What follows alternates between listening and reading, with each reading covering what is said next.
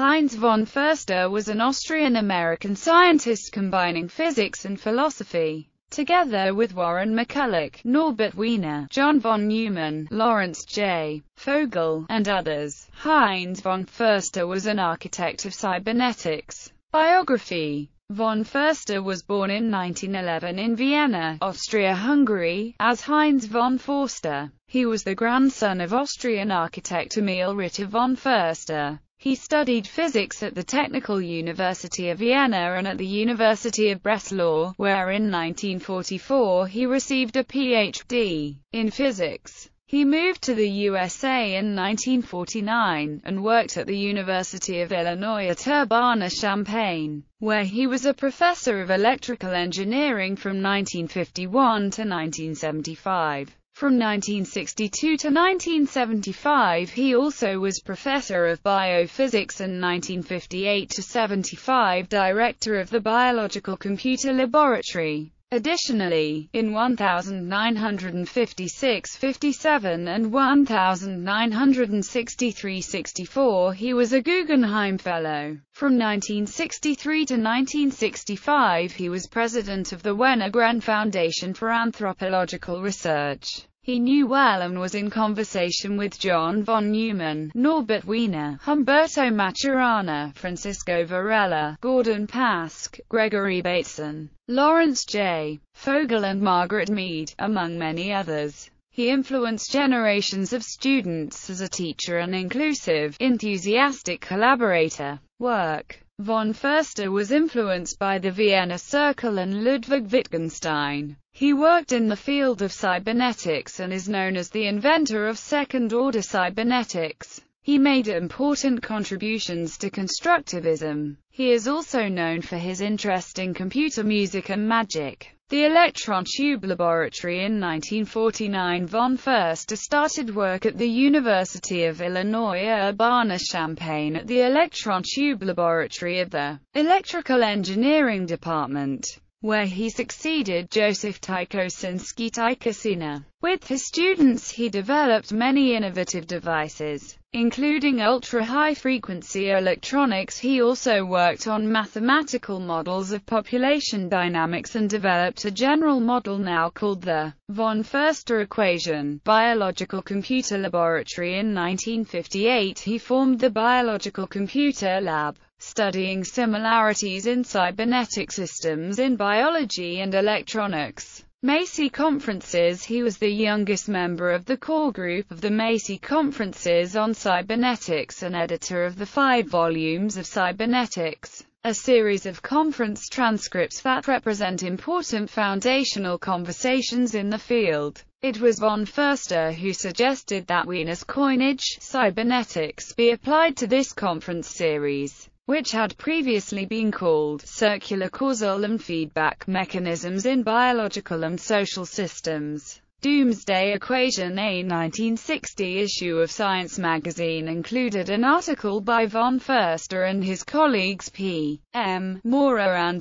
W. Amiot, proposing a formula representing a best fit to available historical data on world population. The authors then predicted future population growth on the basis of this formula. The formula gave 2.7 billion as the 1960 world population and predicted that population growth would become infinite by Friday, November 13. 2026 von Förster's 115th birthday anniversary, a prediction that earned it the name, the Doomsday Equation, based on population data obtained from various sources. Von Förster and his students concluded that world population growth over the centuries was faster than an exponential. In such a situation, doubling time decreases over time. Von Förster's tongue-in-cheek prediction of doomsday on November 13, 2026, was based on an extrapolation into the future of doubling time, with the finding that doubling time would decrease to zero on that date.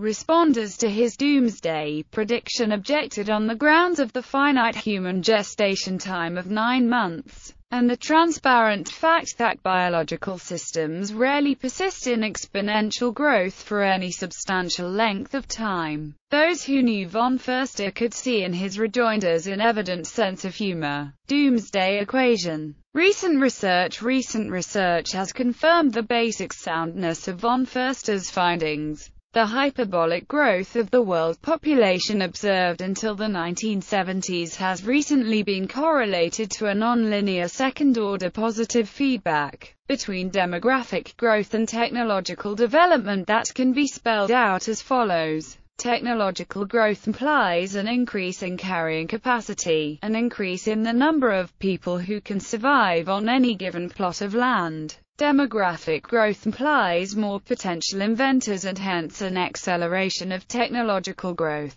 Accelerating technological growth causes accelerating growth of carrying capacity, in a positive feedback loop. Faster population growth likewise feeds back by accelerating growth of the number of potential inventors, and then even faster technological growth. Hence, even faster growth of the Earth's carrying capacity for people, and so on. Publications Von Förster authored more than 100 publications. Books, a selection. 1949, Cybernetics. Transactions of the Sixth Conference, Josiah Macy Jr. Foundation. New York, 220 pp. 2002, Understanding Understanding, a volume of von Förster's papers, published by Springer Verlag, 2002. 2010, with Monica Broecker. Part of the World. Fractals of Ethics, a drama in three acts. Heinz von Förster's most extensive biography first published in German in 2002, with Monica Broecker, Teil der Welt, Fraktale einer Ethik, Ein Drama in drei Akten, Articles, a selection, 1958, Basic Concepts of Homeostasis, in